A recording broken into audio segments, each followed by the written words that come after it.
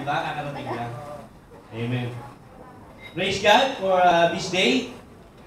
Because uh, we, again, He give us a chance to hear the Word of God. He give us a chance to hear His Word.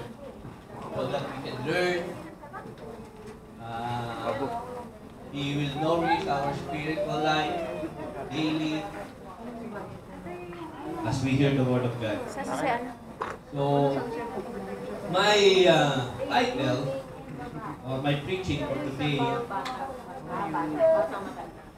came from the text of uh, Ephesians chapter 5, verse 15 to 17. And I titled it uh, Divine Guidance. Amen. Before we proceed, let us uh, all pray. Father God, thank you for your wisdom. Thank you for today that you use me, Father, to declare your word, to give your word to our brethren. Let your Holy Spirit work in the life of the hearer, Panginoon. Panginoon, patuloy niyo po silang katukin, patuloy niyo pag-umapawid ng kasabikan sa inyong salita. Patuloy po naming hinihiling na kayo pamugitna sa aming kalagitnaan para ang lahat po noon ay ma-bless sa Spirit po. Gamitin niyo nga po o mighty name Panginoon. Jesus mighty name. Amen. So, the title is Divine Guidance. But what is divine guidance? Sabi ng iba, yung daw ano yun, minsan, uh, sometimes, pagka there's something happen or if, if they decide uh, and it comes up positively, tinatawag na agad nila ito kasi ito yung ginabay gabay sa akin ng Panginoon. Yan. Sabi nila, this is the divine guidance. Anything na naging positive in result, they call it divine guidance. Pag naging negative, ayaw nila. Sometimes sabi nila, parang hindi nag-work si God sa akin. Eh, divine guidance is a special influence of a divine person or of God on the minds of human being. So, kapag ka gusto nating magdesisyon, okay, nagsisik tayo ng advice. And sometimes may pumapasok sa isip natin. Then, sasabihin natin, ito siguro yung pinakamaganda, pinaka-the best. Then, i-apply natin in every decision we have. Okay? So, this is a special influence of a divine person or God on the minds of human being. This is divine guidance. And this is important to guarantee that our life will improve before each and every decision we will do. So, yung divine guidance ito yung parang sinasabi natin a, a direct connection with the divine God okay? or divine person. Ito yung direct connection natin na sinasabi natin that there is a divine voice. Okay? Hindi po ito yung basta na lang biglang bubulong. Okay? Mag-ingat kayo. Okay? Baka mamaya sabihin nyo, may bumulong sa akin. Okay? Hindi po yun. Hindi nyo maririnig. Sinasabi lang natin divine voice because it comes into your mind. Some, uh, some uh, solutions that you need to apply. So, so this is something like inspiration. So, pero paano natin masisiguro, masisiguro or how can we be sure if that inner voice urging you to make a life change is a real or not. Katulad ng sinabi ko, sometimes, like example, may uh, problema kayo. Yan. Problema pinansyal. Ngayon, may nakita kayong pera. Nasa lamesa. Walang tao. Wala namang nakakakita. Okay?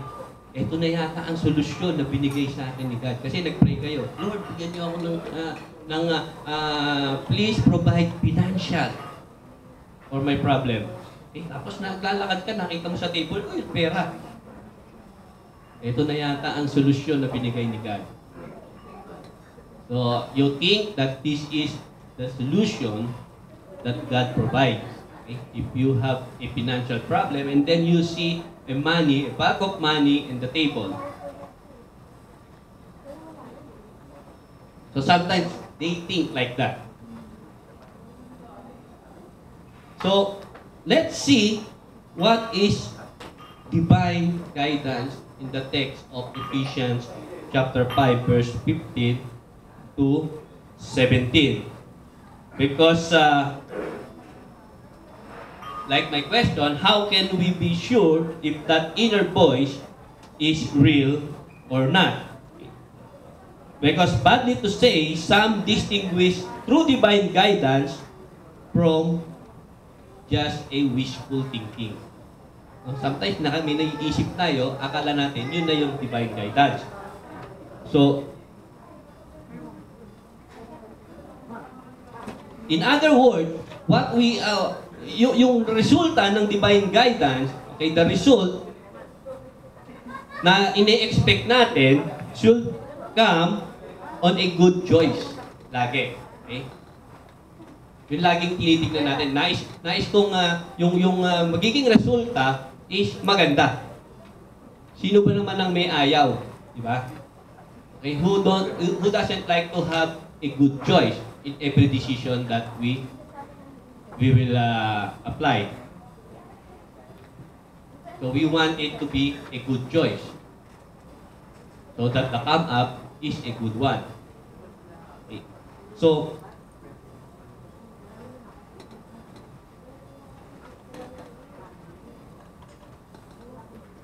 in Ephesians chapter 5 verse 7 or verse 15 to 17, let us all read. Can I have your uh, participation? Let us all read Ephesians chapter 5 verse 15 to 17. Careful Verse 15. then how you live, not as but as wise, making the most of every opportunity evil. Therefore, do not be foolish, but understand what the Lord is. Yan. Para mga kindergarten. Para lang nagbasa ng ano, no? Ng ah, Facebook. okay.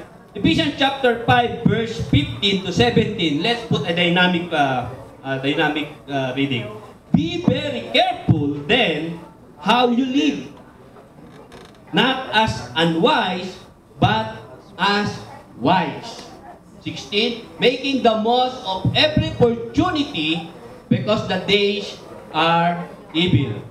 Therefore, do not be foolish, but understand what the Lord will is. Ayan po ang text natin.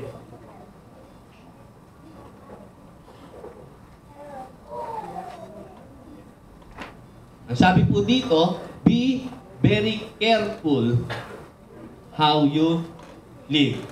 So, the Bible gave us warning to be very careful on how we live. So, it means we have to be very careful on how we walk or on how we want to put our life. Okay? That make sure that always we have a good choice. Siyempre, yun nga sabi natin, no? Lahat ng decision natin, gusto nating magkaroon ng magandang resulta. So, we want to make sure that, or God want to make sure na ang mga decision natin, that our decisions have a good result. So, yan po. So, but there is a warning. Sabi niya, not as unwise, but as wise. In other translation po, unwise O, ah, ano